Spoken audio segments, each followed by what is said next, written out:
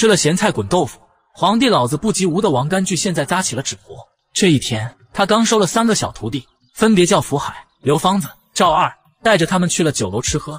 点完了大鱼大肉，这哥仨开始吃了起来。师傅却盯着他们不怀好意，接着又给他们要了一壶酒。伙计，哎，来三斤山东黄，好嘞，烫的味味的。几人吃饱喝足，与师傅勾肩搭背的往回走，前一秒还嘻嘻哈哈。哎，那咱们干嘛不管师傅叫爹呢？啊！后一秒，哥仨却被师傅吊了起来。哥仨不解，问师傅为什么这样？你们三个没规矩的东西，叫你们吃你们就吃。三人被师傅打了一顿。次日，师兄给他们介绍了这活，这手艺是真苦。那时候学手艺能挺三年，再倔强的人也就软了，再柔弱的人也学横了。那时恰巧义和团与洋人打得火热，刘芳子潜入教堂看到了十字架，误以为是洋人的法器，怪不得洋人打不下来，原来是你这鬼东西在作怪。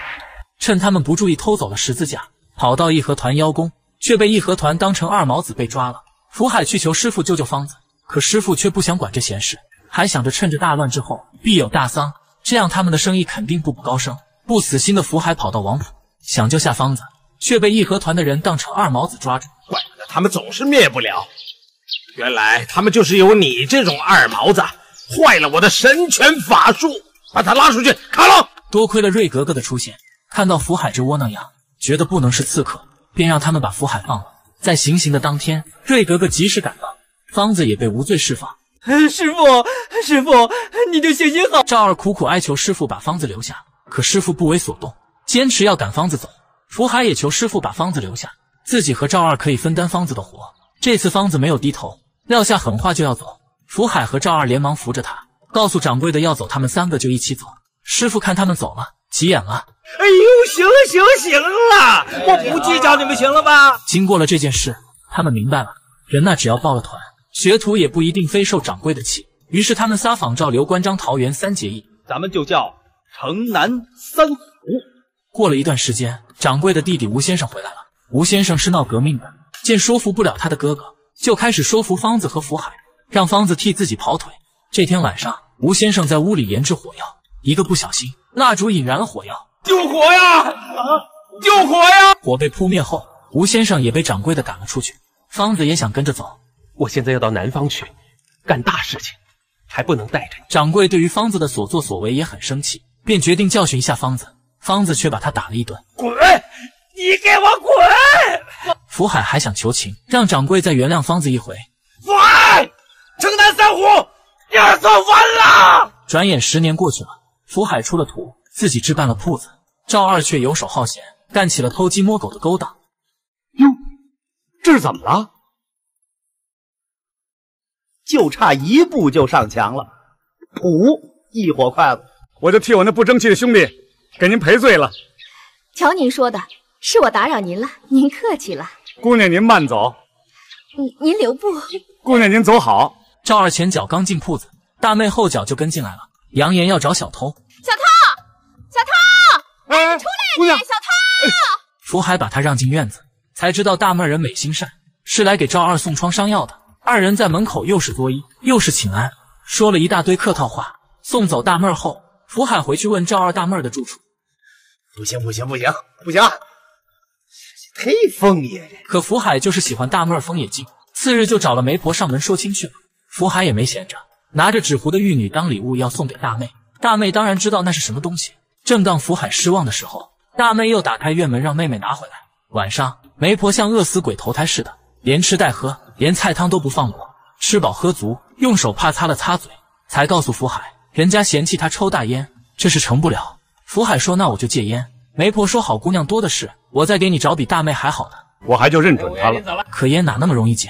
我实在受不了了，你给我抽一口吧，你给我抽一口吧。赵二问他想娶大妹儿吗？想，除了他不想娶别人，是那还抽不抽？我，我不抽。爱情的力量让他戒掉大烟，两人也终成眷属。那年月，老百姓的日子好一天坏一天。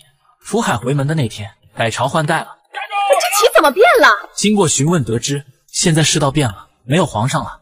叫孙中山，呃住在南京。革命军也把福海抓了起来，剪掉留了几十年的辫子。您给我来碗素面吧。拿盐拌拌就得。哈哈，麻烦您给我来根黄瓜当菜码。一碗素面加盐，配菜是一根黄瓜，就是福海一天的脚骨。刚点上，就来一人家要胡顶棚。福海上前一问，一天才两毛钱。你爱干不干？不干，我找别人去。得得得得，我干，我干。这时，福海点的面也来了。怎么着？你还吃面呢？算了算了，我还找别人去了。没办法，福海只能端着面去了。回到家，大着肚子的大妹儿看到了福海的样子，怎么跟窑里扒出来的炭灰似的？咱还是改行吧。可福海不舍得他那学了三年的手艺，更放不下他那手艺人的架子。转眼孩子出生了，鸡头做王侯，后喜腰，一辈儿倒比一辈儿高。福海看着刚出生的儿子乐不拢嘴，可没高兴多长时间，福海又犯愁了，得想法出去挣钱啊。这婚结了，孩子有了，日子过得也越来越刺挠了。袁大总统不知怎么想的，又想当皇上了。这时候，多年未见的刘芳子也出现了，靠着他的察言观色，他混成了一个小头目。这天，在街上趴活的福海亲眼看到了俩派的打打杀杀，急忙跑回家。赵二也在家，告诉他们找着事由了，可以参加游行，累是累点，给的钱不少。正说着，外面当兵的砸门了。福海跟赵二刚出门，就被大兵抓了去。正当他俩以为要完了的时候，听到了熟悉的声音：“福海，赵二，咱们南城三虎今儿可算聚齐了。”福海，赵二。咱们南城三虎今儿可算聚齐了。福海、赵二被拉去枪毙，却碰到了多年不见的兄弟。如今的方子早已混成了军队的头目，三人见面很是高兴。刘方子告诉二人，他现在是发达了，但不能忘了两位兄弟，得拉着他们一块干。可福海还是想当普通老百姓，方子没管这些，先安排了一顿豪华盛宴，接着给赵二安排了一名技师。要不是你呀，我做梦都不敢碰啊！急忙拉着技师去享受。福海趁机想偷偷溜走。被方子拉了回来，说什么也要给福海安排一个。福海惦记着家中的妻儿老小，跳窗跑了。福海，你骗我！刘方子，你混蛋！回到家，福海抱着大妹儿痛哭流涕。次日，穿上军装的赵二来劝说福海一块当兵，可福海铁了心的就想当普通老百姓。赵二没办法，拿出钱来给福海，说是方子早就猜到会是这样，提前给你预备的钱。福海不要，一脚踢开了钱袋子。这时。听到了外面孩子的哭声，家里一点像样的吃的东西都没有，孩子饿得直哭。赵二也赶紧给福海台阶，让他用这钱给孩子买东西。就这样，福海还是用了刘芳子给的钱，在这世道大乱的日子，靠着这些钱，倒也安分的生活了一段时间。不知不觉，孩子长大了，福海带着家人去拍了一张全家福，这也是他们拍的唯一一张照片。回去的路上，他们碰到了落难的赵二和昏迷的刘芳子。经过询问，得知袁世凯倒了台。支持袁世凯的刘芳子也被革命军追杀，刘芳子怕给福海添麻烦，要走。我可还认你这兄弟，我可还把南城三虎当回事。赵二，你可真不是人揍的，夹枪带棒的，你这捎带我，你这。福海回到家，问大妹芳子上哪了？大妹说在咱屋哄孩子睡觉呢。福海也没多想，坐在炕上陪方子聊着天。大妹进来也熟练的上炕。福海告诉他，二叔在炕上，你怎么也上来了？多不像话。大妹却没当回事，二叔又不是外人，还说起上午二叔跟他聊天，把他逗得哈哈大笑。福海也只能跟着尴尬的笑笑。晚上，赵二提溜着好酒姗姗来迟，福海也夹起一块羊肉准备开吃。大妹打断福海：“你怎么先动筷子了？二叔还没吃呢。”都是自个儿的兄弟，还讲什么呀？见福海没有让二叔，大妹夹起肉往方子的碗里放。福海也尴尬的看着两人的举动。赵二这时也来了一句：“这嫂子疼小叔子一点错都没有，那这应该有我的份儿，这个。”大妹却回他：“你又没病没灾的，没长手啊！”赵二向福海告状，说嫂子偏心眼儿。福海也只能不当回事的笑笑。大妹又说起她炖的羊肉，福海说：“我怎么不知道你还会炖羊肉？咱哪有钱炖羊肉啊？就这钱还是他二叔给的呢。”听到这，福海沉下了脸，也控制不住自己脾气。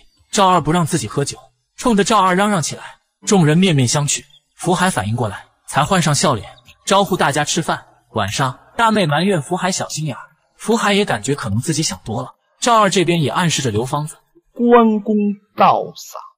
刘芳子不解，赵二说：“咱仨福海行大是刘备，民行二是关羽。”哎，孙子，说什么呢？你这，赵二，你可真不是人揍的，夹枪带棒的，你这捎带我，你这。赵二最后提醒方子，最近跟大妹走得太近了，他要没了这媳妇儿，他自个儿也活不成。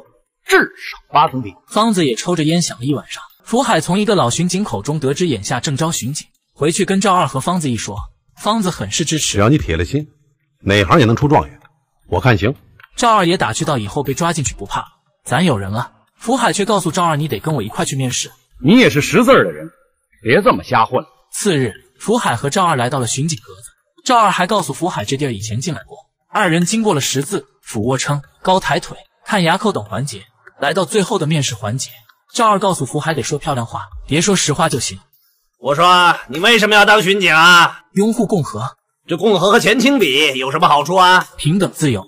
二人也成功面试上巡警。回到家，福海把这好消息告诉大妹和芳子，然后去外面叫俩菜。路上，王婶叫住他，支支吾吾没说出句整话。在福海的再三追问下，王婶才说：“我看你家那媳妇儿跟你那个亲戚啊不太对。”当得知王婶并没有看到实质性的东西，福海自我安慰道：“老太太一定是看走眼了。”训练的时候，福海因为走神让教官赶出去罚站，赵二也趁机出来陪着福海罚站。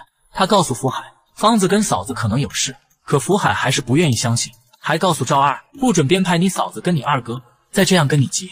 你想啊，大妹跟着我多高兴，况且我们还有一个儿子。刘芳子呢，除了一身伤还有啥？所以没道理啊。老婆，跟我最好的朋友，我拜把子的兄弟跑了。转眼训练的日子结束了，明天也正式当差了。福海跟赵二也兴高采烈的跑回家，想要给他们操练一手。立正！立步！立步！一、二、一、二、一、他们进了屋里，没人；进了旁边屋，还是没人。想想可能在厨房做饭了，可喊了几声也没人应答。他们去了方子那屋，那屋收拾的干干净净，方子也没在屋。福海安慰道：“肯定是出去买东西，他们一会儿就能回来。”而赵二似乎早就想到了这个结果，也没多说，陪着福海等着他们。一直等到晚上，各位，天儿可是黑下来了。这要是出去，可早该回来了。这时门外传来孩子的哭声，福海出门一看，只看到顺子和隔壁王婶。王婶抱怨道：“说是把孩子搁下，上街买东西，一个钟点就回来。都这时了，还没见人影。”福海回过神来，大叫着向城外跑去，被巡警拦了下来。第二天，福海像王八似的蜷缩在被子里，赵二端过吃的。好心的劝着福海：“哥哥，什么都别想了啊！谁让咱摊上这事儿，这这他妈没辙！这个哥哥。”福海看了一眼空空的相框，猛地起身，拿着刀就要冲出去，被赵二死死拦住。方子已经和大妹跑出了城，看到喂奶的孩子，大妹还是会上前多看两眼。福海也跑到老丈人家，告诉了他们这件事。老丈人对于这件事对福海也感到愧疚。这他妈还哥仨呢，这。怎么一个能把另外一个的老婆勾搭走了？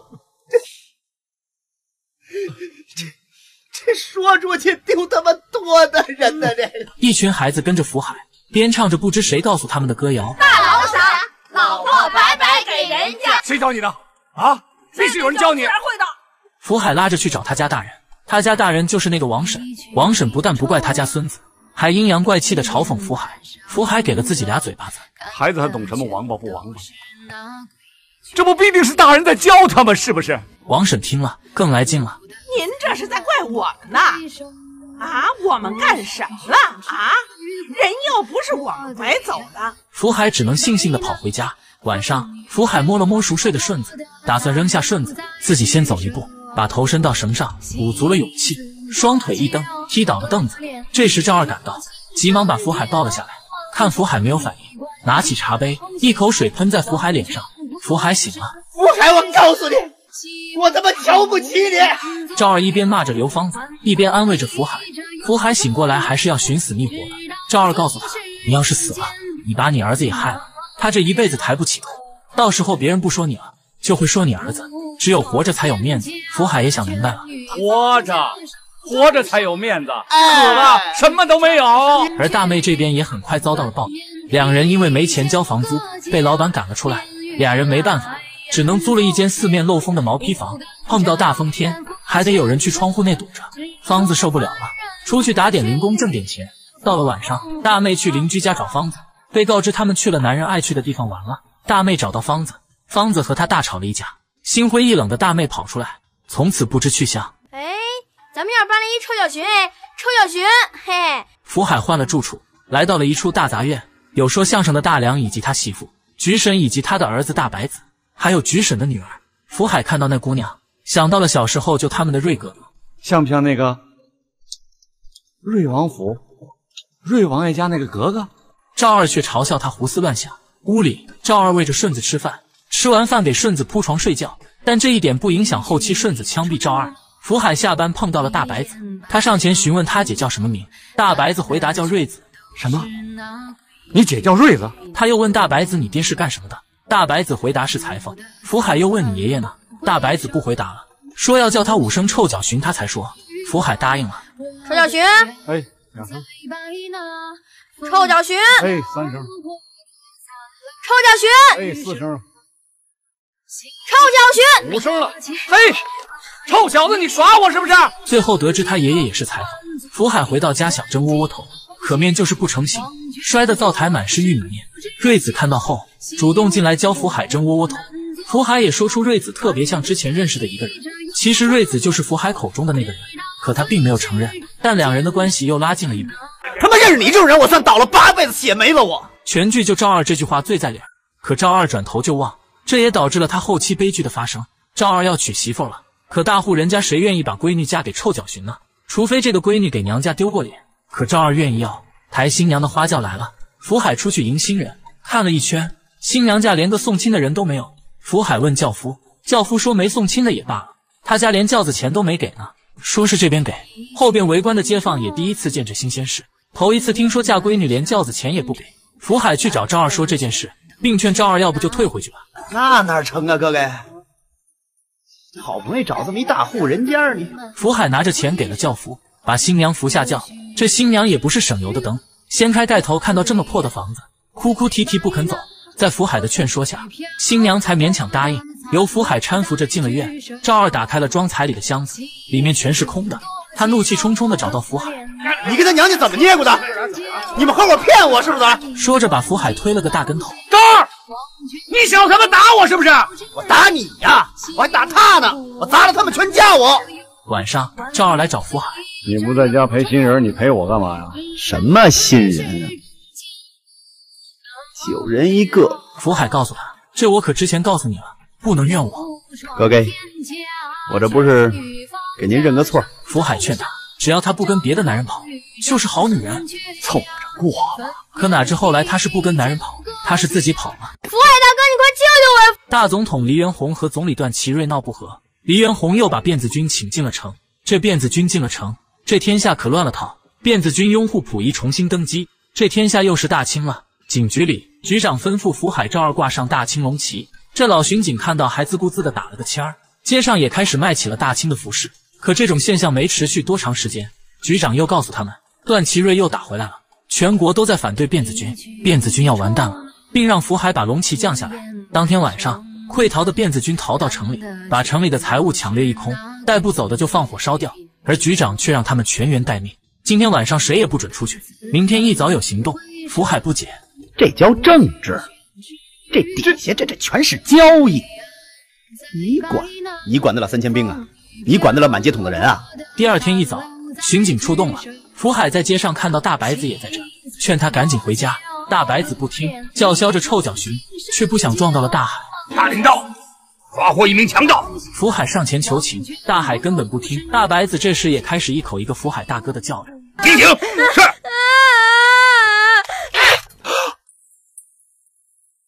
你还是军警呢？平常你拿个刀人五人六的像个人似的。菊神把大白子的死归咎于福海身上，因为他身为一个巡警，看到辫子军当街乱杀人，他却无能为力。福海也为大白子的死感到愧疚，叫顺子给菊婶磕头，让顺子长大后好好孝顺菊婶。为了让大白子风风光光的走，福海拾起了糊纸活的手艺。晚上，赵二安慰福海：“这大白子也不是你给硬按到刀把子底下的。”说句那什么的话，真是个听话的孩子，也不至于就死了。可福海还是为救不了大白子而自责。听着福海愤世嫉俗的说个不停，赵二告诉他：“你就是因为太把巡警当回事了。”这年头，你得会趟事儿。正说着，瑞子进来。瑞子为上午菊婶说的那些话道歉。他告诉福海，大白子的死跟你没关系，是这世道的错。福海又问瑞子，大白子生前喜欢什么？瑞子说他生前最喜欢的就是你。福海一听心里更难受了，也不管忌讳不忌讳，无了个自己陪着大白子。这天福海在门口买萝卜，怎么样，哥们儿？萝卜好吃。福海看到刘芳子愣住了，跑回家拿出斧子就要劈，刘芳子也把头伸了过去。来吧，这条命是你的，只要你愿意，你就砍下来。福海最终因为懦弱没有下手。赵二听到动静跑出来，给了刘芳子一个大嘴巴。我他妈抽你个兔崽子！你个不仁不义的王八蛋！你他妈算人吗你？啊！福海打算要刘芳子一个交代。哥仨进屋，刘芳子告诉他们，我没什么说的。福海，我对不住你。哎，这就算完了？那你说怎么着？福海问他大妹去哪了，刘芳子说不知道。一开始把他带到口外，后来他自己走了。我满世界的找他，就是找不到。再然后就去当了辫子军。我就想死，每次打仗都冲在最前面，可就是死不了。后来还升官发财了。说着拿出一袋钱，告诉福海这些够娶十个媳妇了。福海拿起刀就要劈了刘芳子，被赵二拦下了。临走前，刘芳子告诉哥俩自己开了个宝局，有空来玩。说完就走了。我这就抄你宝局来了，怎么着？北京有多少宝局我都知道，别的事儿我还不管。我今儿公报私仇。辫子军失败后，刘芳子用抢来的钱开了四九城最大的宝局。通过刘芳子的运作，宝局里每天是人气满满，刘芳子也是挣得盆满钵满。城里的张大少用房契抵押，要借三千大洋，刘芳子豪气的借了五千，并暗中告知了伙计，跟台子上说一声，不能让他得逞。这五千块钱得给我搁这儿。这时，一个不开眼的混混耍无赖。刘芳子问伙计怎么回事，伙计说是来碰瓷儿的，就等着人打他呢，好趁机讹钱。可他碰到了刘芳子，我跟你说，我最讨厌这种人了，不打他个灵魂出窍，甭知会我，打去！伙计一听老板发话了，一哄而上，打的那叫一个酣畅淋漓，而那个混混被打得满地打滚。福海利用巡警的身份，带着赵二来到保局，想公报私仇。刘芳子，你成啊你！民国政府、北京市政府明令禁止各种赌博，可是你却光天化日之下开着这么一个宝局子，你知不知道你什么罪过？而人刘芳子根本就不把巡警放在眼里，他在乎是他那俩兄弟，让他俩跟着他干。放心，我一准儿好好待你们，钱不用说啊，分股都成。赵二有点动心了，也劝福海，要不然跟芳子干宝局得了。可福海一根金飞就跟刘芳子杠上了。刘芳子也告诉福海，不是不让你查，是里面正在打人呢。你说你进去管还是不管呢？管吧，人又不听你的；不管吧，又对不起身上那身皮。此时福海还当自己是盘菜。我说你刘芳子真是无法无天，你这是跟我说话呢？啊，你这是跟两个巡警在说话吗？没办法，刘芳子让他进去了，看到了被打得奄奄一息的混混，刘芳子还当着福海的面又补了几棍子，直到把人打死，让伙计抬出去扔了。福海看到刘芳子打死人了，让刘芳子跟他去局里。刘芳子给了他这个面子。局子里，福海跟巡警们一遍又一遍地讲着刘芳子犯罪过程，可众人没有吱声的。福海又告诉巡长，巡长嘲笑他不知好歹，还让他去局长办公室看一下。福海爬玻璃一看，局长正在讨好的给刘芳子点烟呢。福海接受不了这样的现实，脱下衣服准备辞掉差事。我真的不干。来人，把他抓了！来人，来人，别打了，别动，别动，别动，这么，老实点，福海，别动，你行，你他妈真行啊你！赵二把福海的衣服拿回来，并劝告福海：“你饿死不要紧，你儿子怎么办？”可福海就是看不惯这世道，尤其是他们局长竟然也收刘芳子的钱。赵二告诉他：“看不惯你又能怎样？实在看不惯你也可以趟事儿啊。”福海想了想，看在孩子的面上，还继续干着巡警。晚上，他俩值夜，看到了一伙小偷正在撬门。腰里还别着家伙事儿，福海老毛病又犯了。赵二拦住了他，我怎么跟你说的？为了六块钱，把命搭进去不值。我还有儿子。他俩气喘吁吁地跑到没人的街面抽起了烟。可好巧不巧，那一伙小偷偷完东西正好碰到了他们，这下他们尴尬了，几人面面相觑，谁也不敢动。赵二这时打破僵局，问他们大晚上的搬家呢？啊，搬家，搬家。赵二说：“那既然是搬家，那就赶紧走啊！愣着干嘛？”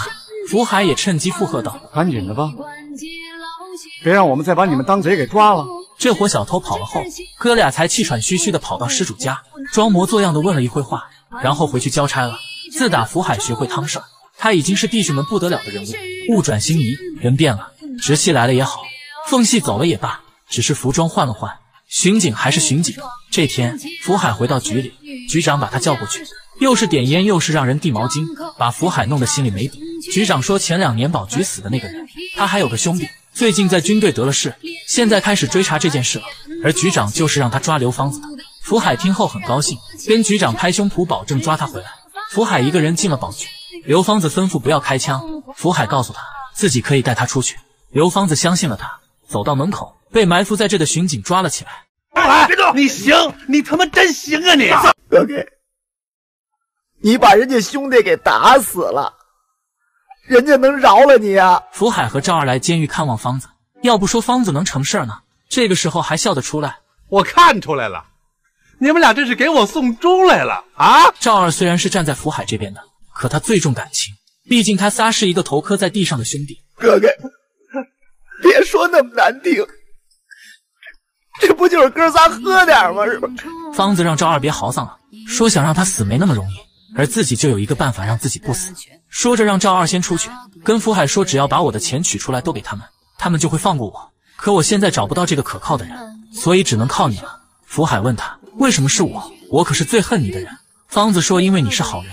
赵二我信不过。回到家，福海跟瑞子说起这事，想让他给出个主意，取出这钱是拿来救方子呢，还是留下来自己用？瑞子话里话外说的这么明显了，暗示福海就是拿了这笔钱，也不会有人说什么。再说刘芳子也不是什么好人，还坑过福海，可福海就是不懂。瑞子也不好明说，只能说不管你怎么做，我都支持你。第二天，福海去银行的路上想通了，他决定把钱自己留下。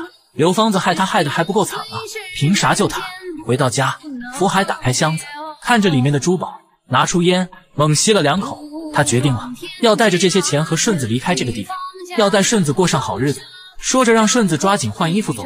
这时，菊婶过来借算救子，听闻福海要走，开始劝起他来。瑞子听到动静，也赶了过来。福海让菊婶把顺子带出去，自己有话要跟瑞子说。说着，拿出那些珠宝让瑞子自己挑。可瑞子根本不稀罕这些东西，只要您留下一件东西，我立马扔当街去。眼看劝不动福海，瑞子拿出了那个花毽子。您还记得这个吗？福海看到了毽子，知道瑞子就是那个瑞哥哥。你扎的件吗？好巧的手啊！这么俏实的东西你也做得出来？可他不明白，为什么大白子说他爹是裁缝，瑞子说大白是我妈跟后爹生的。福海这才明白，可他现在又拿不定主意了，到底走还是不走呢？最后，福海还是带着顺子去了车站。说，你给我说，钱在哪儿？说。刘芳子在狱中被折磨得奄奄一息，口中还不断的喊着福海。福海，福海，一个箱子出现在了他的眼前。福海终究是没走，带着钱来救方子了。刘方子没看错人。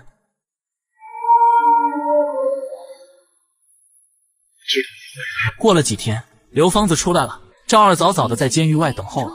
这个时候的刘芳子还不忘豪言壮语一番。过不了两年，我还是个人物，比你们都强。到了家，赵二媳妇早就在门外候着了。她一口一个二哥的叫着。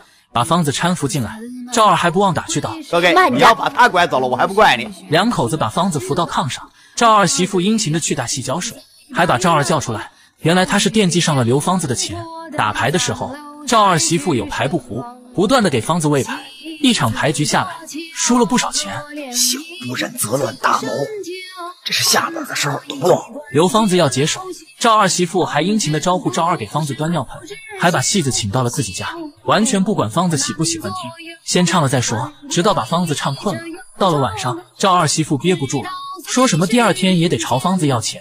哎，我说二哥，咱总不能总装糊涂吧？啊，你窝头咸菜行，我可不行。当赵二媳妇得知方子身上一个大子也没有，立马换了一副嘴脸，眼看话越说越难听，赵二听不下去了，拦住了他媳妇儿。气急败坏的赵二媳妇摔门而去。告诉你啊，今儿你给我把你这位爸爸请走。方子这时候想走，被赵二拦了下来，让他先住一天，第二天再想办法。晚上，赵二媳妇回到家，看到刘芳子还没走，气呼呼的去找赵二。我告诉你啊，要么我走，要么他走。次日，赵二去找福海商量，想让方子住在这儿。可福海一听刘芳子的事，就拉下脸来。你赶紧走！你要说别的事儿啊，我还真愿意跟你说。这事儿啊，咱免谈。福海把赵二推出家门，这时听到了门外有人喊死人了。原来赵二把刘芳子带门口了，二人赶紧出去看看。赵二把方子扶起来，方子看到福海来了，笑了。以为福海会收留他，哪知福海根本不是收留他的，他现在巴不得方子死，小嘴巴巴的跟机关枪似的。你知道什么叫不是不报，时候不到了吗？我告诉你，你早就应该想到你有今天。就算我不报你，天也得报你。我救得了你初一，我救不了你十五，怎么着？不行了，又想往我这跑，还想让我养着你？我告诉你没门！方子听到这些话，也明白了福海有多恨自己。看来今天得出点血了，才能让福海收留自己。于是大喊了一声“福海”，转身向墙上撞去。方子醒过来，知道已经如愿的躺在福海家，但做戏的全套，他还得让街坊们都看到自己在福海家。于是挣扎着起来，寻死觅活的。福海没有拦着他，说这么多干嘛？你死去啊！你就别死在我院子里就行。这句话正说到点上，刘芳子晃晃悠悠的走到院子中央，然后倒下了。菊婶看到后，啊，血！啊，死死人了！吵闹声惊动了街坊围观。福海没办法，只能收留了刘芳子。军阀一天不除，革命就没有进展。所以，我们欲完成革命，必先救中国。这位正在演讲的正是第一集中出现的吴先生，因不小心引燃火药，导致房子被烧。被其表哥赶出家门，现在已经成为了一名革命党。这时有人报告说，外面来了许多军队和警察，吴先生身份不宜暴露，先行离开了。正欲爬大门离开时，碰到了身后巡逻的福海。福海，我想起来了，在福海的帮助下，吴先生爬上大铁门逃走了。福海回到警局，跟赵二说，碰到了小时候捣鼓炸药的那个吴先生。正说着，有人说外面有人找，两人到门口一看，正是吴先生。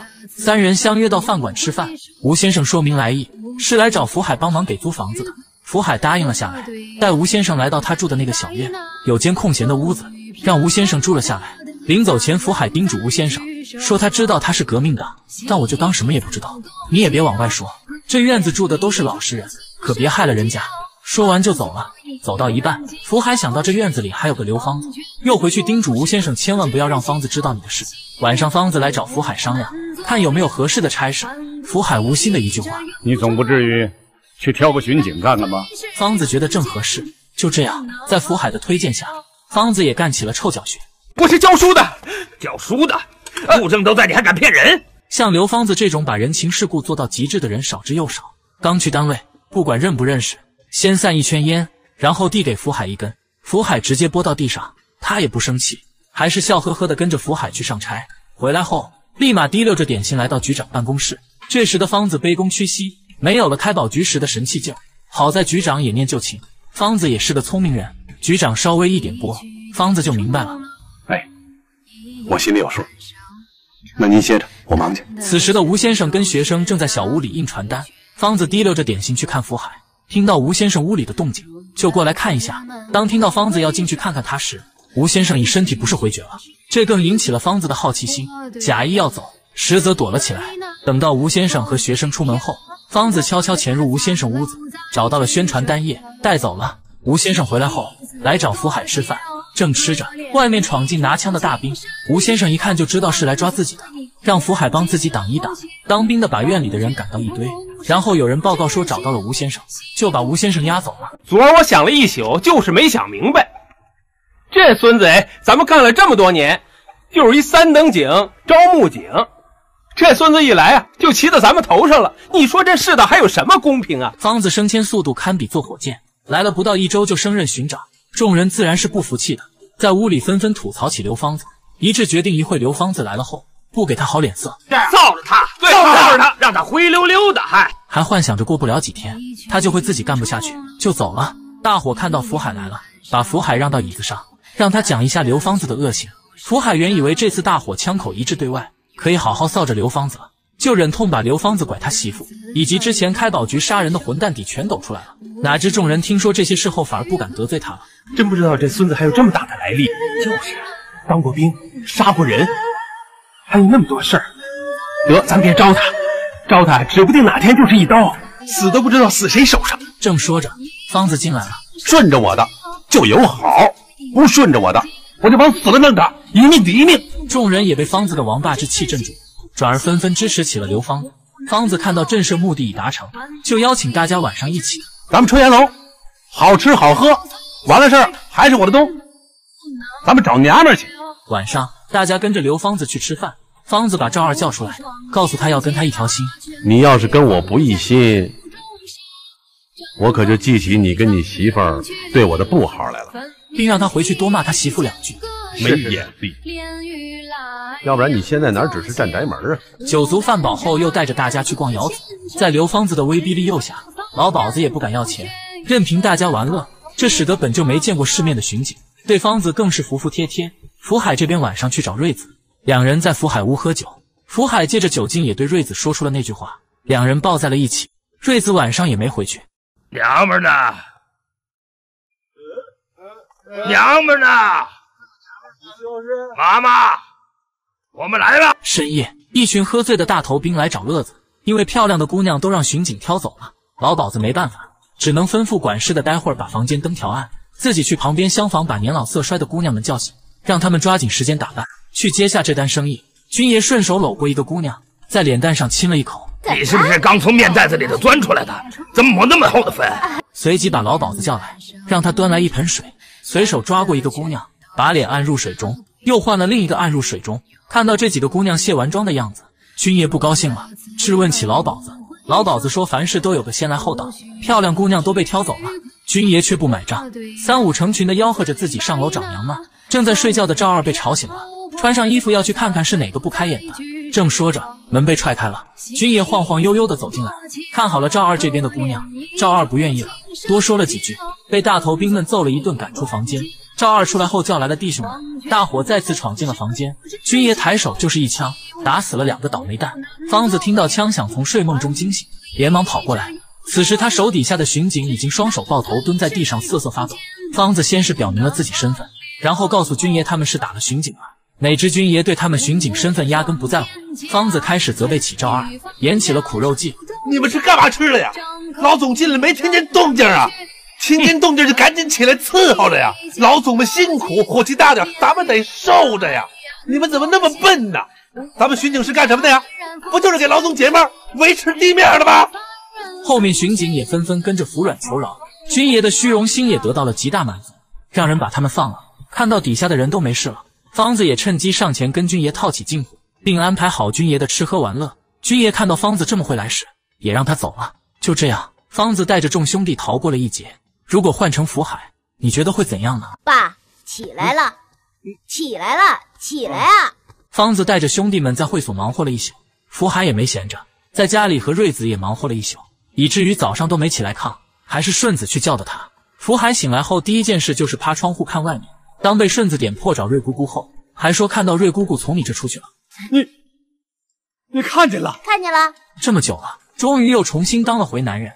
随即从枕头底下摸出昨晚挣的钱，让顺子自己出去买点吃的。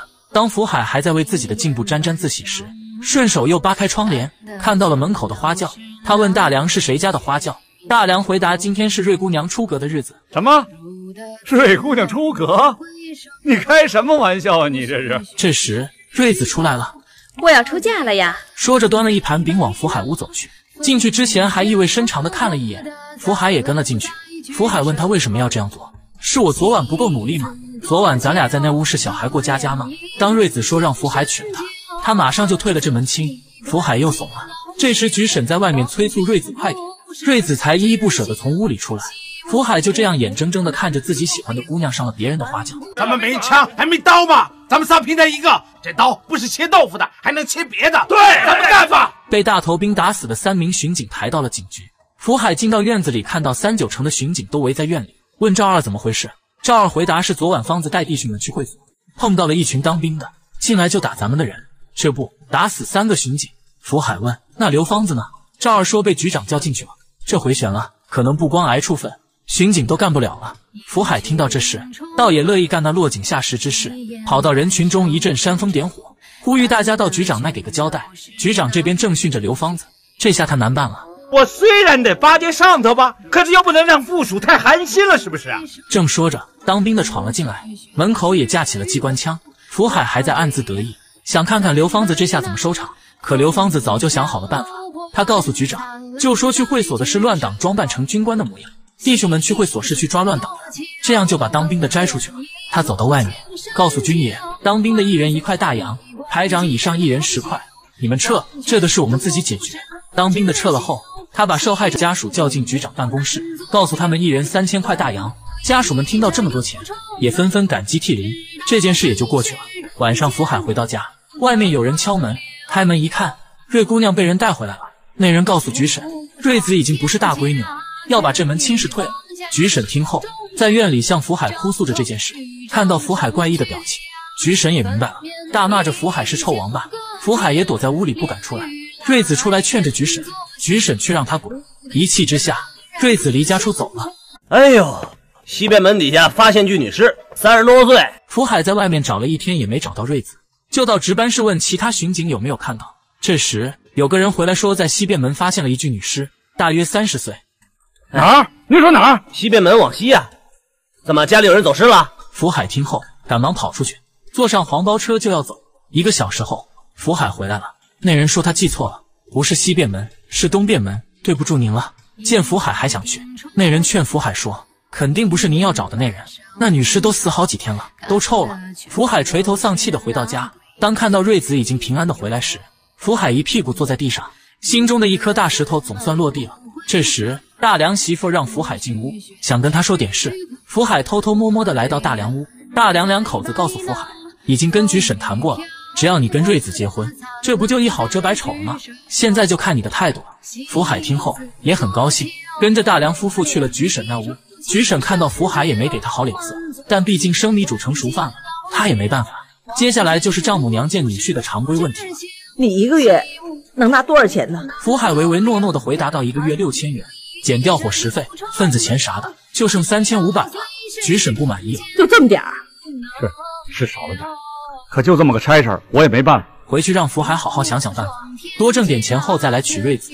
次日，福海来找赵二，向赵二打听站宅门这差事怎么样。好差事啊，不用跟大街上走来走去。听到赵二讲的绘声绘色，福海心动了。刘芳子，我不能像你那样活着。我跟你说，福海，就你这犟脾气，一辈子到底什么也不是，就是个雏。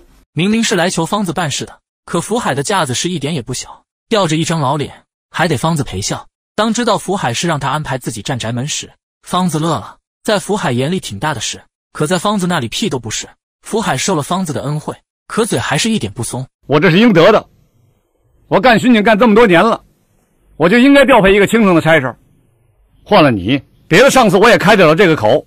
而方子也没跟福海一般见识，反而还告诉福海，钱权都给你留着呢，就等着你来要。可你却不要。只想去占个宅门，你这一辈子注定是个虫。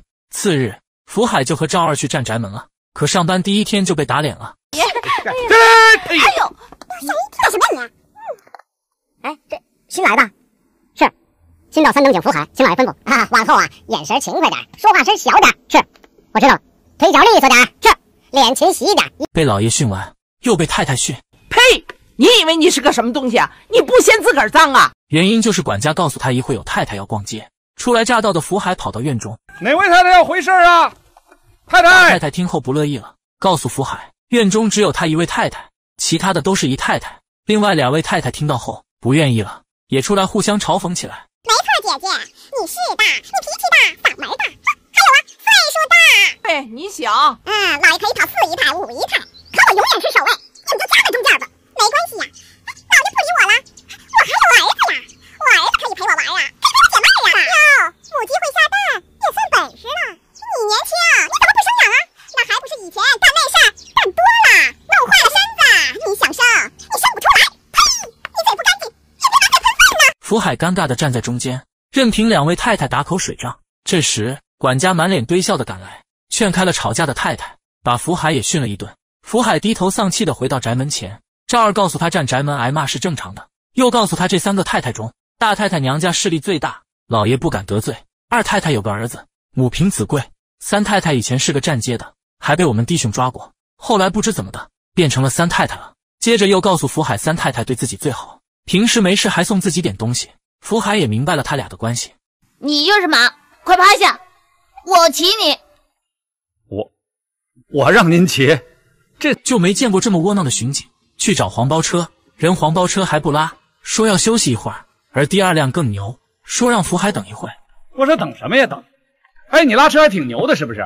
好说歹说，车夫才跟着福海去了徐宅。二太太在门口等半天了，早就憋着火呢。看到福海来了，大声训斥福海不会办事。福海这个时候认个错就得了，还非把责任推到黄包车身上。没用的东西，连个拉车的都降服不了。看到车子都走了，福海回到宅门还想休息一下。你干嘛去？我喝口水啊。跟着跑啊啊！废话，可不跟着跑。跑出了一里地，太太叫停了车子。你这是奔哪儿啊？二太太，你有什么吩咐？你这是奔哪儿？对呀、咱奔哪儿啊？奔哪儿？你先问我呀！你怎么这么笨呢？福海又被熊了一顿。到了前门，车夫因嫌给的钱少，拉住福海不让走，还嚷嚷着不行就让福海把自己带局子里去。福海也是窝囊到家了，自己掏钱补齐了车钱。二太太量身的时候，小少爷让福海趴下，说要骑他。福海说自己是巡警，还穿着警服，怎么能当马呢？巡警怎么了？说不让你当，你就当不成。趴下！福海只能委屈的趴下了。为了多挣这几块钱，自己的脸都被丢尽了。吃饭的时候，福海买了块酱萝卜、六个烧饼，回来却装出很饱的样子，对赵二说自己吃的肉火烧、老豆腐、羊杂汤。等到赵二走后，才喝起凉水，落个水饱。这我得好好看看。没想到啊，这北京城里边还藏着这么多漂亮闺女啊！是是是是。福海总算开窍了，买了上好的鼻烟拿给管事的。赵二也露出欣慰的笑容，他这哥哥总算会办事了。福海求管事的，以后要是太太有个什么事，提前知会声。收了礼的管事的痛快的答应下来，从此有了管事的帮衬，福海的工作也越来越得心应手。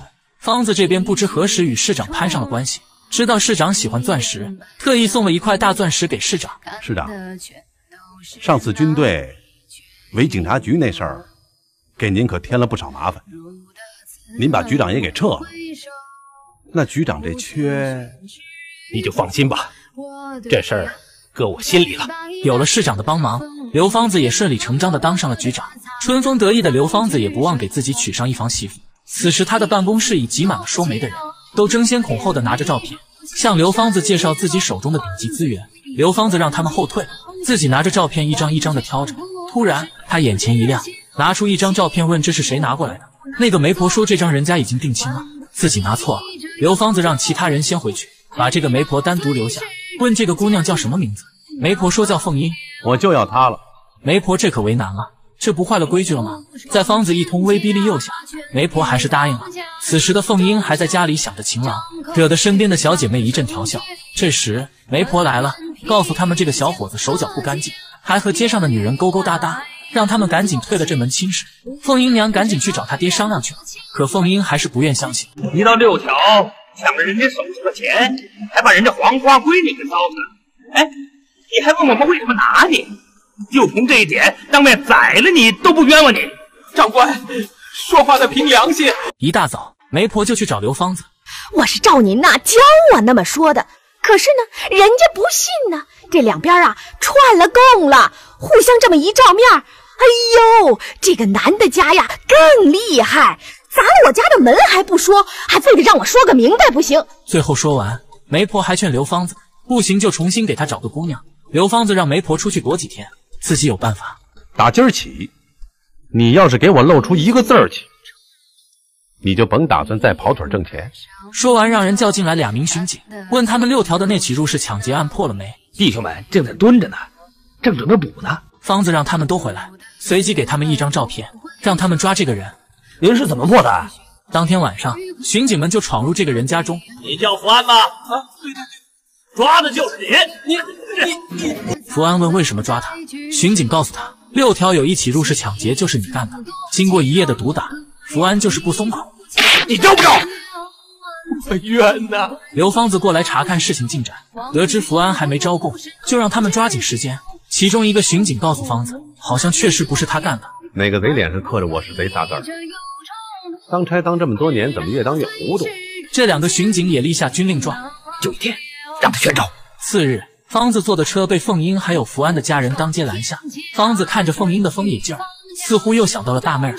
方子下车扶起他们，告诉他们一定会给他们一个交代。随即叫来那两名巡警，问起事情进展。要是还拿不下来，以后我就办你们个错抓好人，让你们当不成差事。快去呀！是。方子也来到牢房，看到福安还是不招，走到福安面前，淡定的拿起一根钉子，朝着手臂钉了下去。福安再也受不了了，最终屈打成招了。凤英娘也在家劝着凤英，让她忘了福安吧，他是个贼。可凤英就是不信，信不信呐，也由不得你。我倒是不想信呢，可是他白纸黑字儿给人家画了押了。媒婆这时也劝着凤英娘，抓紧把凤英许配出去，免得别人说闲话，还说刘局长看上了凤英。在媒婆的一顿忽悠下，凤英娘想了想，还是答应了。有刘芳子这样的兄弟，做梦也会被笑醒。钱，跟我说呀，只要你跟我说，甭说娶一个老婆，娶十个我都替你办了。摊上福海这样的兄弟，我就一个字，滚！方子好心来看顺子，还给顺子带了吃的玩的，福海却不领情，要赶方子走。方子在一边坐下，他告诉福海，瑞子是个好姑娘，你应该早就娶了她，为什么不娶她？是因为钱吗？钱不够跟我说，我可以帮你啊。可福海冷着脸拒绝了。方子见福海没给好脸色，又跟他说了另外一件事：孩子上学的事儿啊。顺子也趁机跟福海说，二叔答应让他上学，还给交学费，给点新钱。方子这也算是办了件好事。可福海就是看着方子来气，还说方子是来捣乱的。方子不服气，非得跟福海好好掰扯掰扯。反正我跟顺子说了，你要是答应，他明天高高兴兴背着书包上学堂；你要是不答应，那也成啊。顺子也跑过来说他要上学。福海不好拒绝，也没应声。方子趁机提出要带顺子吃螃蟹，就当庆祝。爸，我没吃过螃蟹，你就让我吃一次吧。受了气的福海这时却拿孩子出气：“你属野狗的，谁家扔口野食，你捡过来就吃吗？你问过我吗？啊，你问过我吗？你要这些东西？瞧你这手点心渣子，瞧那么一看烂玩意儿。”然后把顺子推到床上，顺子口中的点心正好卡在嗓子眼，半天没有爬起来。俩人发现了不对劲。赶紧过去把顺子提起来，这才把卡住的点心吐了出来。明明是福海推的顺子，这时候却怪起了方子。都什么你惹的祸，还说呢你？懂事的顺子见俩人因为自己吵了起来，便说不吃螃蟹了。福海想了想，叫住刘方子，说他们去吃螃蟹。走到院里，菊婶叫住福海，说他仔细想了想，决定不为难他了，让他选个日子就跟瑞子成亲。福海听了很高兴。这个时候，远离北平的口外，十几年不见的大妹儿出现了。福海跟瑞子能成婚吗？还是最后跟大妹儿复合？关注我，这是女人第一次打枪。当年抛下丈夫和儿子，偷偷跟男人跑到口外，男人却背着她与别人打扑克，她没脸回去，只能流落口外。一晃十几年过去了，她已摇身一变成为了团长太太。她还是跟以前一样风野，姑娘家家的，却喜欢骑马。晚上，他拿出已经泛黄的照片，这照片正是他临走前拿走的全家福。这人正是大妹儿。这时，团长进来了。他慌忙把照片收好。团长告诉他有个天大的好事，要换房了。大妹问换哪了？团长说北平城。大妹一听北平就愣住了，咋的了？咋一说回北平，你的脸就耷拉的像吊销似的呢？没事儿。小妹气喘吁吁的跑回家，告诉二老他姐回来了。他爹还不信。当小妹保证真回来了时，他爹抄起棍子就要出去。这时大妹进来了，跪在二老面前说对不起他们。你对不起我们倒没关系。你真对不起你爷们和你的孩子。大妹问福海他们现在在哪住，他爹不知道。小妹说自己去过他家，知道在哪。大妹求小妹带自己过去。此时的顺子正被一帮孩子欺负，瑞子出来赶走了他们。顺子这打嘴炮的功夫紧随他爸。顺子，小子，你等着，回来，早晚收拾你。大妹跑过去叫着顺子，顺子走过去，大妹一把抱住顺子。顺子不明所以，还向瑞子解说旁边这个是他小。瑞子问那位是谁，小妹忙回答是她的远方亲戚。这时顺子也推开了大妹，菊婶出来把顺子叫回去吃饭了。瑞子此时也猜到了这人是顺子的妈妈。大妹临走前祈求瑞子不要告诉福海她来过，瑞子答应了。你是我见过的最没出息的男人了，我们瑞子看上你什么了？真不知道他上辈子欠了你什么。我能废。刘芳子带顺子去吃螃蟹。顺子长这么大第一次坐汽车，一会按按这个，一会拍拍那个。一会又拉开窗，看到顺子这么高兴，福海心里更不是滋味了。因为顺子的快乐跟他无关，全是刘芳子给的。一路上，福海沉默无语。芳子教育顺子，遇事不要怂，有人欺负自己，就盯准一个人狠狠地揍他，让他们以后都怕你。福海却教育顺子，遇事别惹事。饭桌上，福海以好久没吃荤腥，肚子受不了为由，坐在旁边桌子喝茶，等顺子吃完。芳子一直想跟福海说他要结婚的事，可福海一直没给他机会说。回去的路上，顺子求福海让他以后不要对二叔这么凶。福海说：“我让他欺负的差点死了，我还对他凶。”顺子问：“那他为啥对咱们这么好？”福海几次话到嘴边，还是咽了下去，没告诉顺子他妈被拐跑的事，只是顺子问起他妈的事实，福海只是说被汽车撞死了。回到家，瑞子把新做的被褥一扔，一脸的闷闷不乐。福海问瑞子怎么了？你以为我真的没人要了？碎的上杆子，白给你啊！福海把顺子支到菊婶屋，瑞子告诉他，你原来的那位回来了。福海一脸的不相信，你说什么？这不可能吧？瑞子问福海，要是他回来你怎么办？可福海一直不肯正面回答，在逃避这个问题。当得知大妹已经与顺子见过面了，福海大晚上的非要出去找他。看到福海这么激动，瑞子生气了，认为福海心里还是想着大妹。我想他，我我想着他，我恨他，我恨他这辈子害了我。不是他，我这辈子没这么倒霉。我不会让人看着这么可怜可笑的。眼看福海还不正面解决这个问题，瑞子生气的要回去。福海拉住他，让瑞子给出个主意。我给你出主意啊！亏你想得出来。瑞子伤心的跑回去。菊婶过来质问福海，福海向菊婶保证对瑞子是真心的。有了福海这句话，菊婶就放心了，起身要走。临了，福海又来了句：“他要回来了，没了去处，非要回我这儿，我横不能把他赶街上去吗。”菊婶这下是真生气了，不想跟福海多说了。你是我见过的最没出息的男人了，我们瑞子看上你什么了？真不知道他上辈子欠了你什么。我能废。我想好了，我再也不能这么活着了。我再也不能这么苦了自己了，我苦了自己，我便宜了谁呀？女人在街上闲逛，竟然偶遇了被自己抛弃的前夫。你是大妹儿，你是大妹儿。福海，福海一时不敢相信，腿一软，扶着墙慢慢坐下了。大妹急忙把他扶起来。这时，大妹的现任胡子哥出现了，要拉着大妹去听戏，还问前夫哥他是谁。大妹谎称是远房表哥，一听是自家亲戚，胡子哥不由分说也拉着福海上了车，要一起去听戏。当得知大妹已经成了团长太太时，福海在车上一句话也不敢多说，以差事为由下了车，在街上漫无目的的走着，后面的汽车按喇叭也没听见，把福海撞倒在地。下来两个当兵的，对福海一阵拳打脚踢，然后拖到了马路边。醒过来的福海坐着黄包车回到家，福海坐在炕上，回想着今天发生的一切。他决定了，从今往后，他只为顺子和瑞子活着。瑞子听后笑，福海终于开窍了，正要给福海做饭去。这时大妹进来了，福海当着大妹的面说他喜欢的是瑞姑娘。大妹说我不傻，看得出来，我也希望你们能在一起，顺子也好有个照应。然后求福海答应他件事。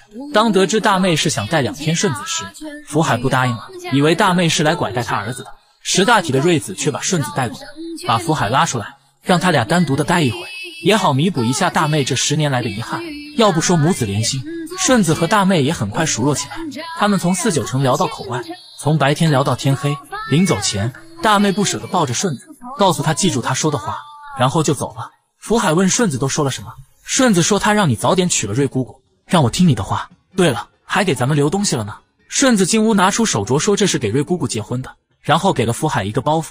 福海打开一看，正是之前的那张全家福。我告诉你啊，刘芳子要娶媳妇了，真的，哎，真事儿，立马就办事儿。刘芳子要娶媳妇了，警察局长要结婚了，那排场可够大的，就连市长也前来祝贺。几天前，赵二管福海要两块钱份子钱。福海却嫌多，赵二说还有比这交的更多的呢。当福海得知是刘芳子要办事，他还好奇刘芳子没爹没妈，家里是死了什么人啊？不是你这人就不往好处琢磨人家。我告诉你啊，刘芳子要娶媳妇了。大妹儿这边自从回到北平就一直闷闷不乐。胡子哥看出了不对劲，问大妹儿是不是有事瞒着自己。大妹儿说是有一件事瞒着她，自己在北平有一个仇人，让胡子哥把他抓起来。胡子哥还以为是啥事呢。当听到是要抓个人时，当即掏出自己的枪。这枪你会使，拿着，找着那人上去一枪把他崩了，算我的。结婚这天，方子府上张灯结彩，北平城有头有脸的人物都来了。哎呦，市长，市长哎，您亲自来了。方子一边把市长请进宅子，一边拍着马屁。市长却对这宅子赞不绝口。哎，我说刘方子啊，你这宅院可是够阔气的啊。方子投其所好。说结完婚就把宅子送给市长，市长一开始不要，以免给人落下受贿的口实。在刘方子马屁攻势下，市长才勉为其难的收下了。接得完市长，刘芳子又吩咐福贵一定要把新娘子接来，哪怕动用巡警。是。新娘子这边也已经在路上了，一路上哭哭啼啼，但好歹是按时辰到了。福海本来是不想来的，但因职务在身，跟赵二陪着徐次长也来了。芳子看到他们来了，也很高兴，但福海依旧没给芳子好脸色。不就是一女人吗？今儿我都还给你，我把今儿娶的那个女人给你，行吧？男人结婚，却让自己的好兄弟入洞房，前提是让他俩之间的账一笔勾销。接着上回说，老实人就活该受欺负吗？福海是跟着徐次长来的，按理说是听命于徐次长的，可门外站岗的兄弟进来偷懒，巡长看到福海在这闲着。就让福海出去站会儿岗，福海推脱不了，背着枪出去了。看到来来往往贺喜的宾客，敬礼的手就没放下来过。刘芳子喝得醉醺醺的来到洞房，凤英看到他这个样子，推开了他。刘芳子却喜欢这样，有点风野劲儿，有味儿，我喜欢。这点像大妹儿。凤英问大妹是谁，刘芳子说大妹是我把兄弟的老婆，而我却偏偏拐走了兄弟的老婆。别以为我拐走了把兄弟的老婆，我就得意。其实这事儿毁的最厉害的是我。凤英求刘芳子帮他个忙，如果帮了，以后会死心塌地的跟着刘芳子。刘芳子问什么忙，凤英说放了福安，他是个好人，是被冤枉的。我什么都能答应你，看你了。凤英听到这话，走到床前，解开衣服，等待方子享受。来，可方子却说今天就没打算碰他。方子找到福海，想要把自己新娶的媳妇让给福海，这样拐带大妹的事就两清了。可福海压根不领情，骂刘芳子不是人。我就想把这女人给你，我跟你那笔账两清，行不行？刘芳子不管三七二十一，把福海拉到屋里。福海却劝着新娘赶紧走。刘芳子见福海在屋里不办正事，拉着福海就要出去。这时碰到了门外的大妹，芳子见到大妹还活着，很高兴，而福海却很淡定。大妹缓缓从包里掏出手枪，要杀了刘芳子，算是给福海一个交代。这时赵二进来了。赵二，把他枪下了！来，枪掉到了地上，三人急忙上去抢枪。慌乱中，不知怎地扣动了扳机，大妹儿死了，缓缓倒在了福海怀中。从此，福海跟刘芳子之间的仇恨更深了。我告诉你，赵二说了，就是你，因为相信大太太要给你差事，你把他给卖了。赵二媳妇来求芳子，让他救救赵二。芳子想到受伤时赵二媳妇赶他出门，没给他好脸色，拿出钱给他，让他给赵二定付好棺材，打发他走了。赵二媳妇哭哭啼啼的找到福海，告诉他赵二没救了，拿出芳子给的钱，让他给赵二定付好棺材。你他妈傻呀！你爷们还没死，你定什么棺材呢？你福海没有放弃，他又拉下脸去找刘芳子。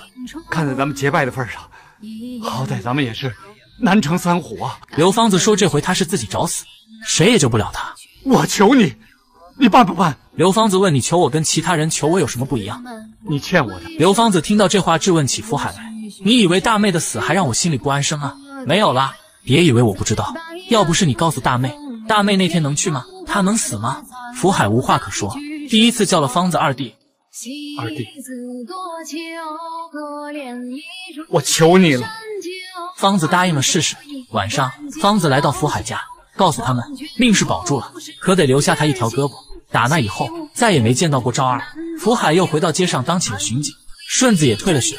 冬去春来，改朝换代，换的人都麻木了。这天，福海正在地面维持治安，一辆官车缓缓停在福海面前。福海，你还记得我吗？福海，你还记得我吗？吴先生啊！曾经的教书先生变成了国民政府的秘书长。福海对于吴先生当年被抓一事一直深感自责，吴先生却不怪他，都是那刘芳子。你放心，我绝不会放过他。然后让福海坐上自己的车。让福海也风光风光。路上，福海问怎么处置刘芳子。福海，你就瞧好吧。刘芳子一路小跑来到车前，打开车门，护着吴先生下车。吴先生没给他好脸色，刘芳子当即给了自己两个大嘴巴。吴先生自然不吃这套，甭跟我耍这种江湖手段。叫着福海跟自己进去，跟众人介绍起了福海。显而易见，吴先生是想提拔福海当局长的。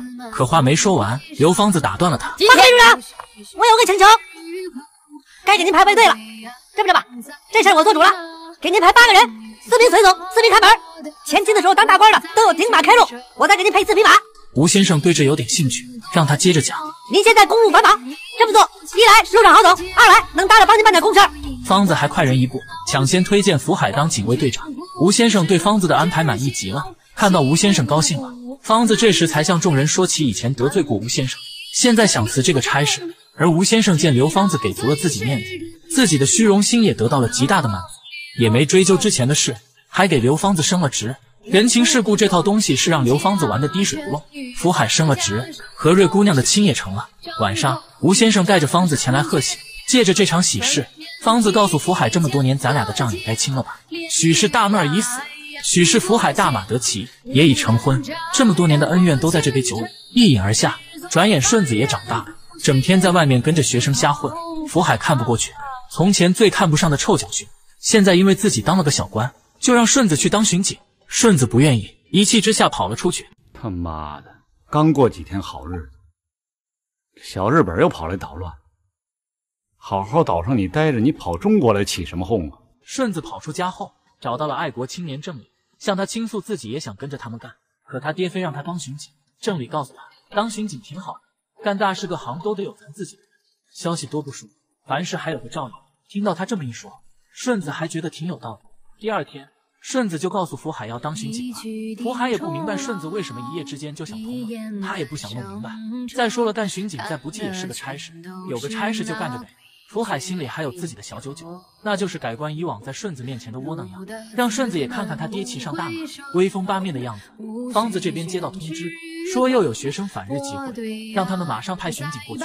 顺子知道后，谎称自己拉肚子，大部队走后，自己则先人一步去给郑理报信。郑理这边正在反日宣传，顺子告诉他，巡警一会就来了，让他们赶紧走。郑理则谢绝了他的好意，想跟巡警正面会一会，让顺子抓紧走，别暴露，然后回去安抚同学，让他们不要怕。这时，刘芳子带人来了。不得不说，刘芳子的语言艺术是登峰造极。同学们对我们巡警是真有成见的，所以我就更想说几句。我说的第一句就是：中国不会亡。中国不但不会亡，而且谁要是说中国会亡，我就把他抓去。我是反对亡国论的，我不相信亡国论。下面的同学被唬得一愣一愣的。刘芳子开始切入正题，既然中国不会亡，那么学生的职责就是读书，读书才能救国。眼见同学们要被刘芳子洗脑，郑理赶紧制止。同学们，同学们，他这是最坏的亡国论。同学们开始议论起来。刘芳子见好好劝说不行，换了种态度。好了，我刚才说的是中国不会亡，现在我跟你们说说咱们的事儿。中国尚未宣战，凡是影响中国和日本关系的机会，都是被政府所不许的。这一次，只当我没看见。如果再有类似的机会，巡警队是要管的，我也是不客气的。让同学们都散了，却吩咐手下把那几个带头的给抓了起来。你不能学你爸爸，一辈子没出息，你得学我。刘芳子把带头的几个学生抓回局里，叫进来几个巡警收拾他们。顺子看到后想溜，却被刘芳子叫住，告诉他要学会打人，拿这些人练练手。顺子不答应，芳子就亲自打给他看。郑理不想让顺子为难，也劝顺子朋友，巡警朋友。你打我吧，我不记你的仇。你打吧。顺子疲惫的回到家，福海问他发生了什么。我想杀人。顺子说刘芳子逼着我打我的朋友，还说我像你一样没出息。他妈的，这个刘芳子，他欺负完老子又来欺负我儿子来了啊！顺子告诉福海不想当好人了，好人永远受欺负。而福海则说了他这辈子最在意的话：好人呐，那是没得势的人。好人要是得了势啊，一样得变坏。他拿吴先生来说，以前是多好的一个人，有学问，又体恤穷人。得势后，我想啊，这好人得势，那不得把刘芳子给杀，天下不得变这样。可看看现在，他跟刘芳子还一起。告诉你儿子，这天底下就两种人，阔人跟穷人。那阔人呢，永远不会是穷人的朋友。顺子却不同意他的话，他认为郑理他们就不会跟吴先生。这时。瑞子进来了，他也赞同顺子说，也跟顺子提了给他找媳妇的事。顺子虽然心里有了，但怕他爸失望，也同意了这门亲事。合着你们吃香的喝辣的时候，你们在北平待着，北平有了事儿了，你们转身就想走啊？平静的日子没过多久，小日子打了进来。吴先生此时正在收拾东西前往南京，说的好听点是复命，实际是逃命。走之前还不忘说一顿冠冕堂皇的场面话。国民政府是绝对不会抛弃大家的。只要大家忍耐一时，北平早晚还是咱们中国的嘛。至于什么时候拿回来，我也说不好。大家保重啊！福海拦住他，不能让日本人打进来呀！你想想，要是日本人打进来，还有咱中国人的好果子吃吗？吴先生却说这就不是我的问题了。国家积弱太深，我也没办法。福海还是拦住他不让走。这时的吴先生露出了真面目：要走个屁！你个臭巡警，难道我想走吗？国家的事你不懂。吴先生，你骂我呀？我骂你还是轻的。这个时候，难道我需要你个臭巡警对我指手画脚吗？滚开！吴先生跑了，福海他们也没有了保护的人，在街上骑着马。想到国家现在这样，他们还趾高气昂的骑着马也不合适。于是大家都下来牵着马回局里看看怎么安排。刘芳子这边正在等着小日子的特使。小胡子开门见山说：“日本军队马上要进驻北平。”刘芳子也明白什么意思。他说：“巡警的责任就是维护地面的，甭管谁当政，他们都不能让地面乱了。”小胡子听后也很高兴，有意拉拢芳子，问他对职位有什么要求。我们知道你很能干，我们就喜欢能干的人。中国为什么败于日本？就是因为中国不能干的人还在当政。这样的国家。能不败给日本吗？刘芳子也认同他的观点，但他还想当这个局长，只负责维护地面，其他的什么都不管。送走了小日子，刘芳子来到大牢，告诉郑离小日本来了，让他赶紧走。我是一身脏了，洗不干净了。甭说日本人了，什么人来了我都得伺候。你们不必这样，你们可以走。通过这事，郑礼倒是对刘芳子有所懂了。福海回到家，捂着一张脸，自言自语要亡国了。你说那小日本能比咱多点什么呀？啊，咱中国人一人一口唾沫也能把他淹死，你说是不是？瑞子说：“关键是谁来吐第一口？”福海又开始口嗨了。要不是有你，顺子还有儿媳妇，我就去吐这第一口。没想到瑞子不但不来，还支持他要跟他一起去。福海马上又认走。这时顺子回来。他说不当巡警了，要走，要杀鬼。福海虽然心有不舍，但顺子是去干大事，也没阻拦，目送着顺子离开。哎，你逞什么能啊你？你要是铁了心的跟日本人干，你犯不着辞差事啊。你拿杆枪跟日本人玩命去，最差拿把刀也能剁个日本人吗。福海带着衣服去警局辞差事，却看到大伙儿也都聚集在此。他以为大伙都跟他想一块去了，没人要辞差事啊！你！那是干嘛来了？听信儿啊，还不知道怎么办呢。福海没好气地说：“衣服一交，回家。”大伙却各有各的难处，也有同事劝福海不要辞掉差事。谁敢私自离岗，就算反日分子。福海还妄想跟小日子讲道理，这日本人不能这么不讲理吧？我不伺候他，我有什么罪啊？这时刘芳子进来了，他简单跟大家交代了几句，大体意思就是：一是我给大家把饭碗保住了。二是小日子来了，大家不要招惹他们。三是遇到事能趟事就趟事，犯不上为几块钱把自己搭进去。福海把衣服扔到方子桌子上，转身就要走，被方子叫住。我不干了。方子问你不干了，我怎么办？你当你的官啊，反正你这人机灵，改朝换代正是你撒欢的时候。方子不想跟他废话，让他拿衣服到后勤处换身衣服，还是回来干巡警。福海还是一根筋。方子好心的劝着他，凡是在这个节骨眼上不干的。回头都是反日分子，听我的，把衣服拿回去，明儿回局里上差。晚上，福海出门拿东西，却碰到了许久未见的赵二。赵二，哥哥，是我。看到赵二这样，福海惊喜中又带着心酸，忙邀请赵二去家里坐坐。瑞子看到赵二也是很高兴。哥哥，这是该叫。嫂子了是吧？嫂 嫂子，赵二还是跟以往一样客气。当得知福海结婚找他找了好久时，他还一口一个的我的不是。福海问他这些年都去哪了？我成亲的时候找过你，顺子成亲也找过你，但都没找着，没脸呢。哥哥，赵二诉说着这些年的遭遇：孩子病死了，媳妇也跑了，房子也让人敛了，后来去了口外捡破烂过日子。这不前两年刚回北平。福海问他怎么不来找我，赵二说自己在街上也看到过你。骑着白马，那叫一个神气，没脸叫你，怕给你丢人。瑞子也端上酒菜，让他俩今晚好好叙叙旧。赵二问起顺子呢，福海说小日本来了后，他就走了。沉默良久，福海问起当年的事，什么话，哥哥？当年跟三姨太那档子事儿，那是我自个儿不小心，让人给看着了。哥哥，过去这么些年。咱哥俩谁都不提这档子事。不得不说，赵二是真拿福海当兄弟。福海当年无意间的出卖，害得赵二家破人亡，还断了一条胳膊。赵二不但不恨福海，还把责任揽到自己这。以减轻哥哥的心理负担。但接下来兄弟二人就反目了，这个我们下集再说。可是为了这个，你就去当汉奸？那人们因为这个就瞧得起你了吗？可是我要成了日本人的红人呢，这帮孙子至少怕我，对不对？他们恨你，谁爱过你呀？可我问心无愧呀，赵二，我就问心有愧啊！上一秒兄弟二人还其乐融融，有说有笑的，下一秒二人却反目成仇，要割袍断义。赵二告诉福海，这日本人马上就到了。这日本人一来，我出头的日子就到了。福海不明白了，赵二说：“你想想啊，我赵二在北平就是一臭狗屎，谁不知道我的底？可日本人不知道啊，他需要人，以前得势的全不管用了，比的就是谁忠心。我赵二就是对日本人忠心。”福海看出来了，赵二这是想当汉奸。再三劝阻无果后，福海跟赵二翻了脸：“你给我滚！”转眼日本军队进城了，巡警都被安排维持治安，老百姓也被逼着拿姨妈巾夹道欢迎。汉奸们不断的往地上撒着糖，不明就里的小孩上去疯抢。看到这一幕，福海心里感叹道：“真是丢脸啊！日本人踩在咱土地上招摇，我还得给人维持地面，丢中国人的脸啊！我做不了英雄，但也绝不当赵二。”大街上挂满了姨妈巾，福海还是像往常一样巡逻。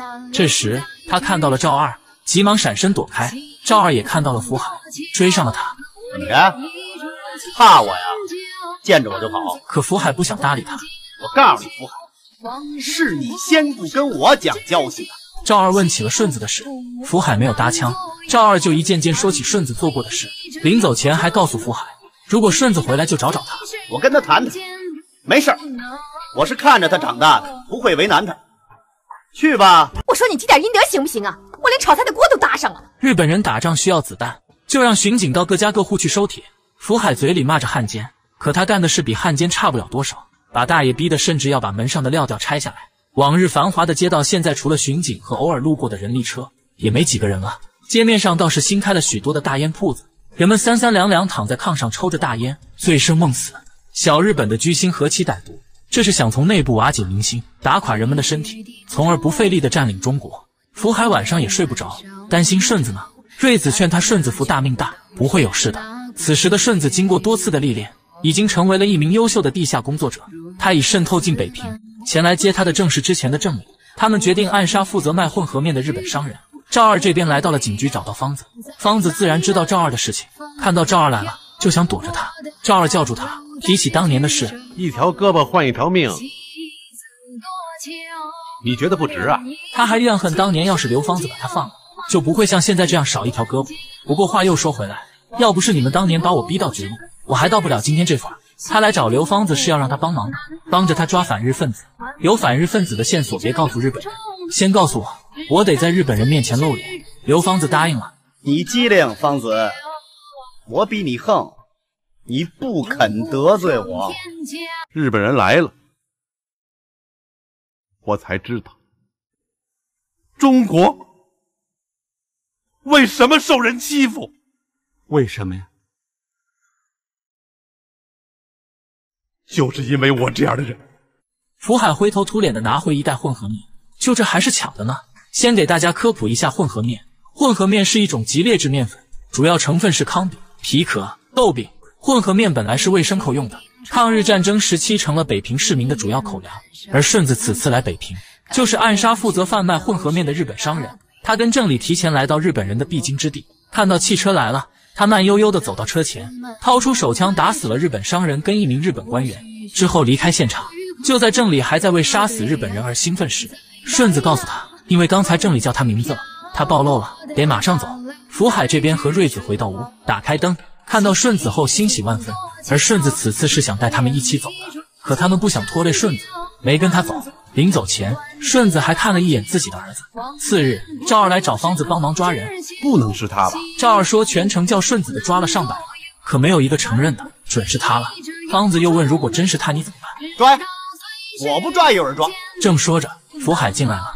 赵二开门见山，福海也不兜圈子，询问赵二是怀疑我儿子打死了那个日本人是不？福海，你真是不说瞎话的人呢！你福海也说了这一辈子当中最霸气的话。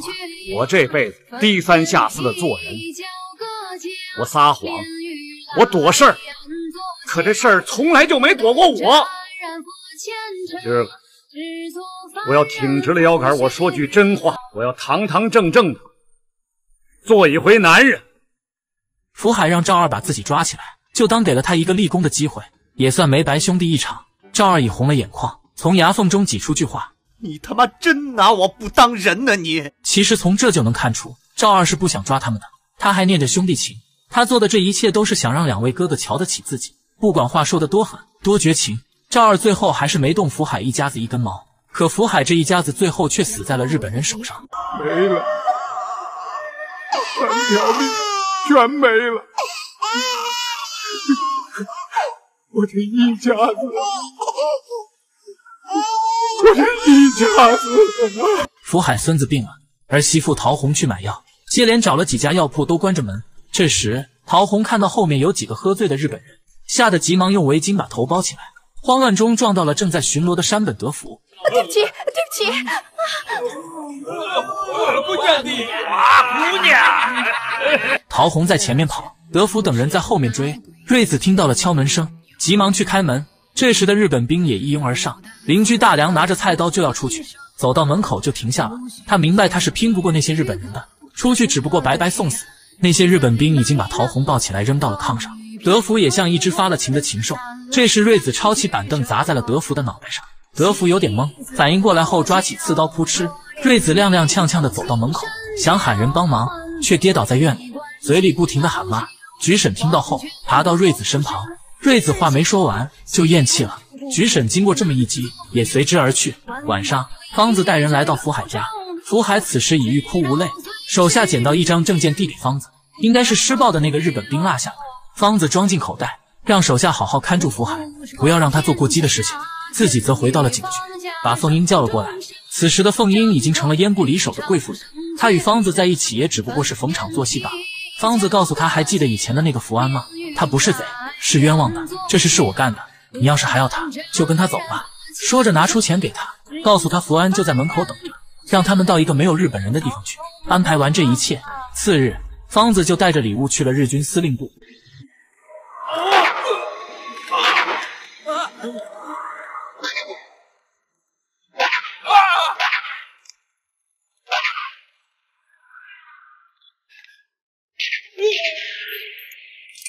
这是方子最壮烈的时刻。方子孤身一人带着礼物来到日军司令部，军官问他是什么的干活。方子回答道：“昨天有一位太君到城里玩，看上一位花姑娘，把证件落那儿。太君说花姑娘不好，把我们的人打伤了。方子借机提出要把礼物送给那位太君，以表慰问。你弟讲礼貌。军官看他这么有诚意，让山本德福过来了。方子拿过德福的证件，双手递过去，却故意掉到地上，急忙弯腰去捡，直起身时不知何时手上多了把枪。”先把杀害瑞子的那个日本兵击毙后，再把在场的其他日本军官杀死。想自我了断时，枪里却没了子弹。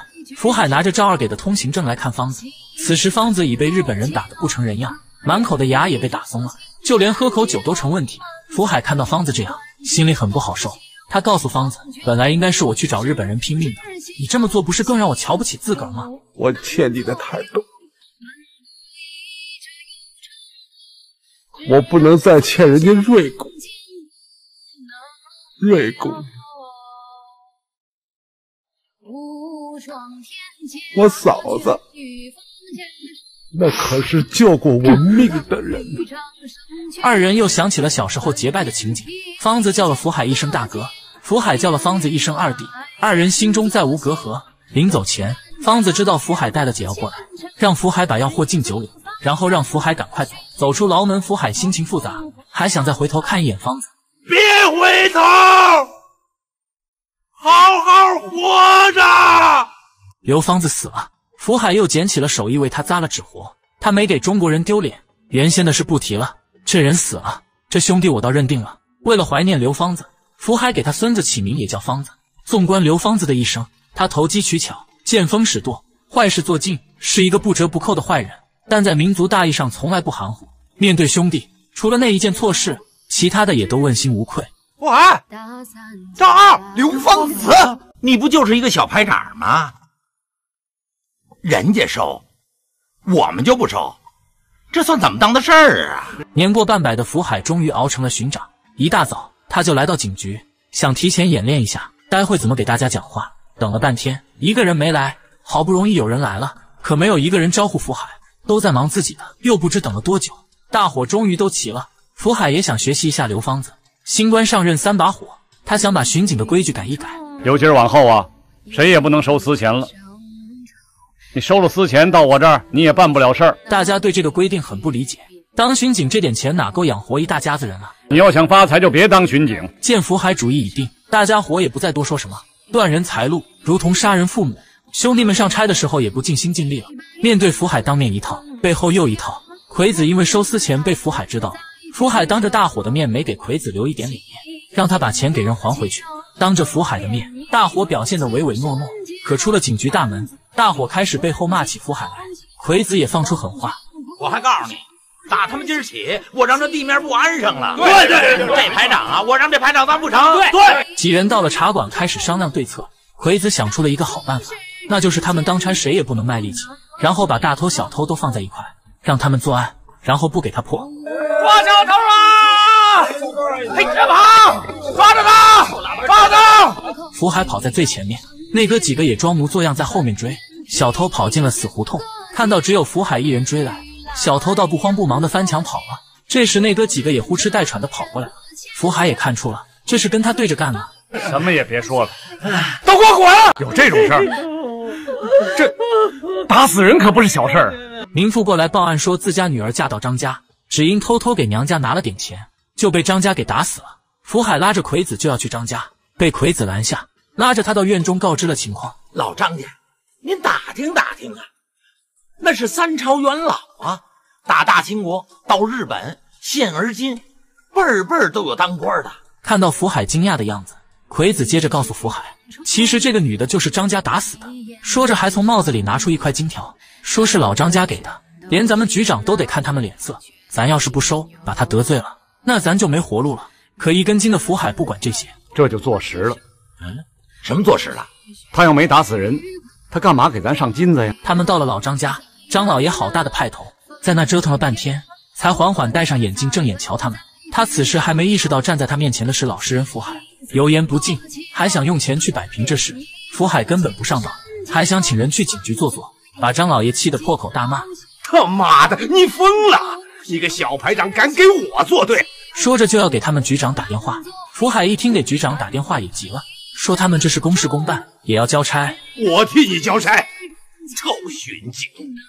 你怎么吃了豹子胆了？找我的茬啊！过了一会，局长怒气冲冲的赶来了，二话不说撕了福海的臂章，赶紧过去给张老爷道歉，让福海赶紧滚。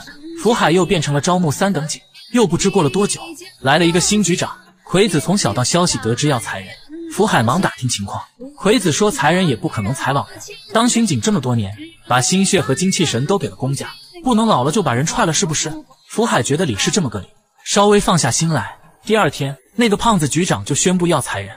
他坐在车上，告诉大伙跟着车跑，规定时间跑不回警局的就自己走人。福海为了自己的差事，也是拼了老命了。终于在大门关上的最后一刻挤了进去。就在福海为保住差事松了口气，局长看到了福海，认为福海肯定是偷奸耍滑了，让人把他轰了出去。